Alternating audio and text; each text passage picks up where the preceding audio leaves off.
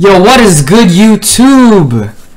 This is Luke Gabriel, aka Energy Bricks.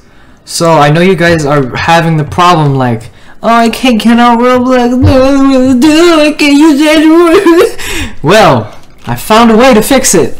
And, like, thankfully, this guy on Twitter, he was talking about it, and I'm like, oh my gosh, does it actually work? And I downloaded it and it's and that's on the Google Play Store or not Google Google Chrome Store and I'm like wow that's actually working. So let's let's get on Roblox you know let's try to get on Roblox as many people would actually say you know and we're waiting here.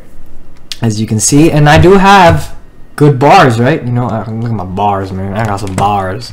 But um I'm waiting man.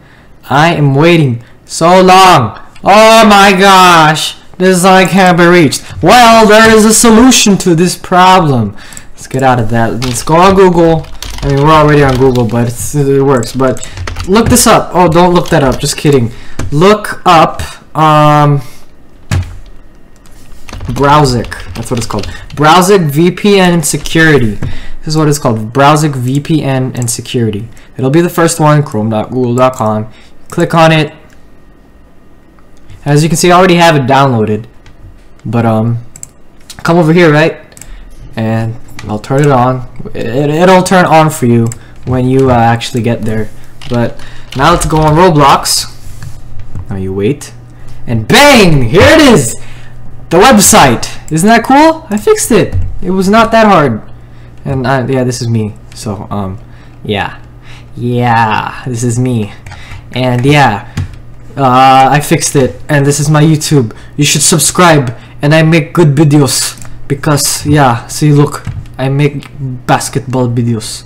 But yeah I mean that's it guys. That's how you um that's how you fix the Roblox problem right there.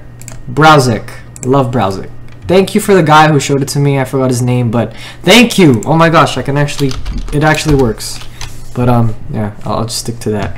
But I hope you guys enjoyed a really short video. Hopefully it helped. I hope, you know, you guys get something out of this. It actually works. And uh, yeah, I hope you guys enjoyed. Stay tuned for more basketball tutorials and projects and more. And yeah, thanks. Bye.